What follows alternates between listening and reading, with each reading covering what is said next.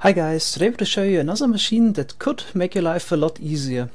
So I built up this flying machine that removes the water which is encased uh, with the leaf blocks here layer by layer. So basically we have a two-way flying machine that's getting moved down every time it docks at the station here. It's uh, quite easy to turn on, just need to open this trapdoor once, then everything is moved down by one and the bidirectional flying machine is launched. And it will take out every single block in this layer, so no yeah, water block is left afterwards. And also, yeah, because we sealed it off, no new water uh, blocks could flow in and form new water sources. Um, yeah, we get a few ghost blocks, that's getting worse every Minecraft version. So at the end, this piston here tells the flying machine to return, and it's also getting moved down by one. You see it moves down, and then the next time the flying machine comes around, it's also yeah, doing the same again. And on the other end, basically the same happens, so this piston here that punches, it's just a ghost block again, would activate this observer right here and this tells the whole station to move down and it would also launch the flying machine again. As you can see it, this piston would activate the observer, then everything moves down the one and the machine is launched again. So it would work all its way down and then it would stop at the lowest layer because the slime blocks would try to pick up the stone blocks and then it would get stuck. So let's try to make a time lapse so everything renders correctly and we don't get too many of those annoying ghost blocks.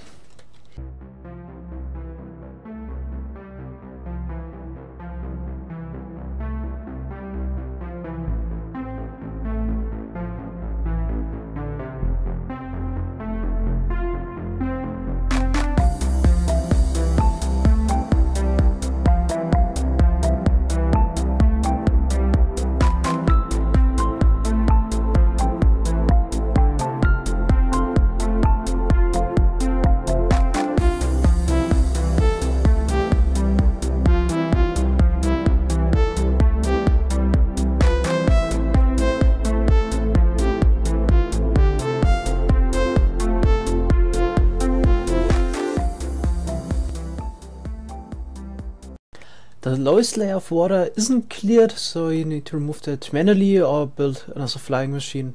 Um, but yeah, rebuilding this machine so it would take care of the lowest layer isn't that simple. Um, we are already at the push limit pretty much every piston, um, so it's not worth it in my opinion to try to you know, come up with a solution for that. Um, yeah, removing one layer of water also is no problem, just put in some sand blocks, some sponges, you could also stop the machine simply by removing this block right here. And then once the flying machine comes in and docks, it wouldn't move down, it would just stay there. So it's doing nothing, then you can put the block back and then you can start the machine again by opening the trapdoor.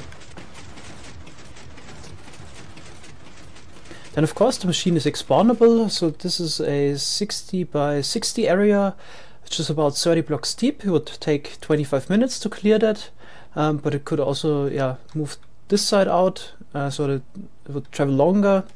But it could also hook up more flying machines on the side here, make it wider. So it's really up to you how large of an area you want to clear. Alright, so let's start with the tutorial. So the first thing you gotta do is to build walls around the area you want to drain. So I used leaves here because yeah, they're perfect. Slime blocks don't stick to them. So I can move those slime blocks next to the leaves, um, but you don't need them in every location. Um, you only need them where there are slime blocks next to it. So for example, here we have this uh, tower at the top, so definitely need some leaves here. Could also use obsidian instead, so uh, it's not necessary to use leaves, but I think they're easy to gather and also easy to remove afterwards if you want to. But for example here you could also use other blocks instead. No slime block would ever touch that. Um, so yeah, I would recommend leaves. Easy to get, easy to remove. So in the tutorial I want to build up a 19 wide machine. Um, so the first segment is 7 wide, then every next one is 6 so 7, 30, 19, you could then go to 25, to 31, but I could even adjust it to make some uh, segments shorter, but I want to keep it at the standard size here, which is some maximum size really for each unit. So here you also need some unmovable blocks. Um, I think the best would be droppers or furnaces. If you can afford it, even anvils, they're easy to remove.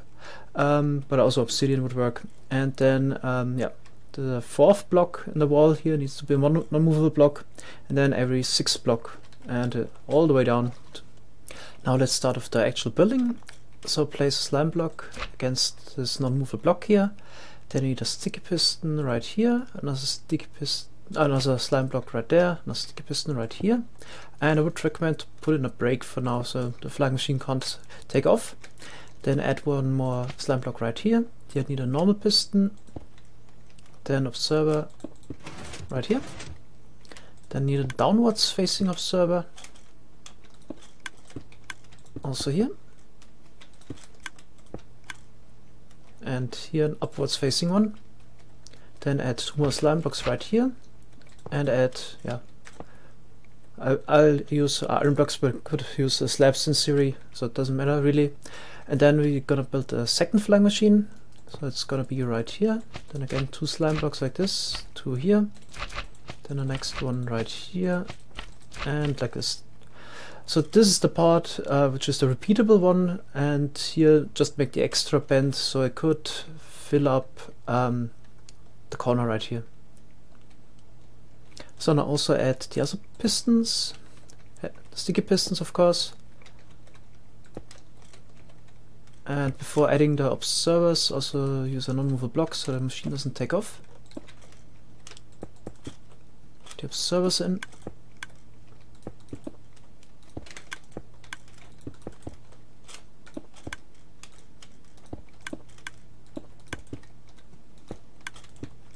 Then here we always need the upwards facing one. And now fill up the gaps with blocks.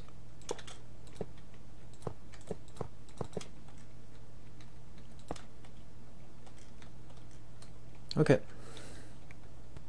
So next we're gonna build up the return stations on this side. Um, so this piston here is a direct line to yeah, the top of the observer here. So basically what's happening here, this observer updates the piston and this updates this observer again and this causes the machine to turn around. So then on top of the piston you place an observer, another piston like this, then a sticky piston on top of that, two slime blocks, then another observer, and then a normal piston facing down and a redstone block on the side. And do this for every yeah, flying machine. I made a slight mistake there, sorry, um, but it's not hard to fix. Those actually need to be one block lower, but you don't need to rebuild anything, you just need to update those sticky pistons here with flint and steel, and then the whole thing moves one lower. So consider this as a test. So next we're gonna add some blocks on top of those observers. So norm two normal blocks right here, here another normal block, and here we need a redstone lamp. Then here we need another slime block and a downwards facing observer. How's the redstone lamp? So basically what happens here, we're gonna push both of those uh, segments down. Then this piston would extract and then the redstone lamp is directly on top of this observer and it has a little of delay which causes this uh, other sticky piston to uh, grab those slime blocks again and this basically launches the machine. So then we need two normal pistons on top. Connect them with this slime block right here and add an observer like this. And then also add another sticky uh, another slime block right here and redstone block. So I also build up the same thing on top of the other two flying machines. And now we're gonna go to this corner right here. And we're to put an upwards facing observer top of the corner block. Then add a normal block. Then this is the trapdoor that would launch the machine. Then another observer on top. Then this is the block you could remove to stop the machine then a redstone lamp on top and another observer and a sticky piston with a block. So now we need a normal piston again.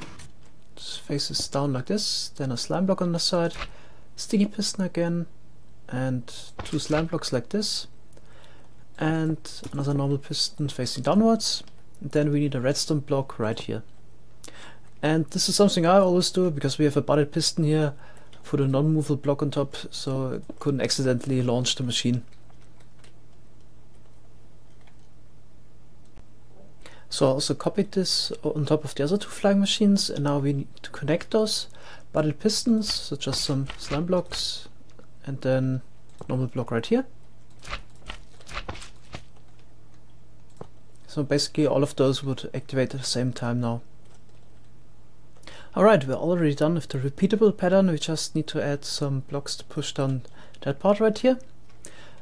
So we're gonna extend from the first flying machine to the side here, and here we need sticky piston and server right here. Then need some slime blocks, whoops, and some normal blocks right here,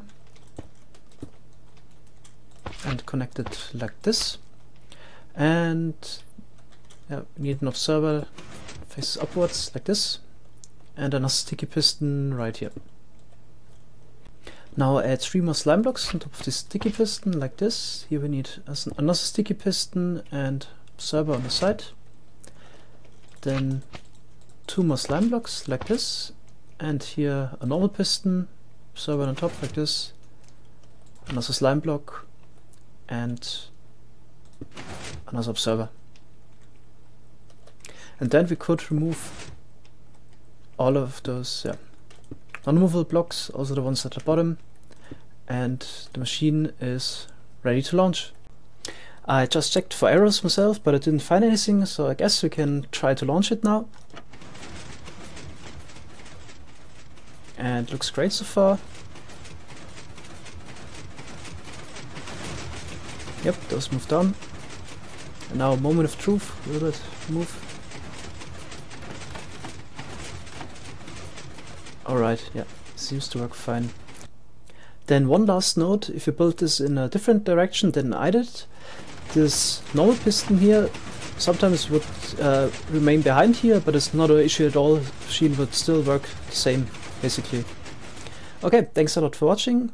Have a nice day. Bye bye.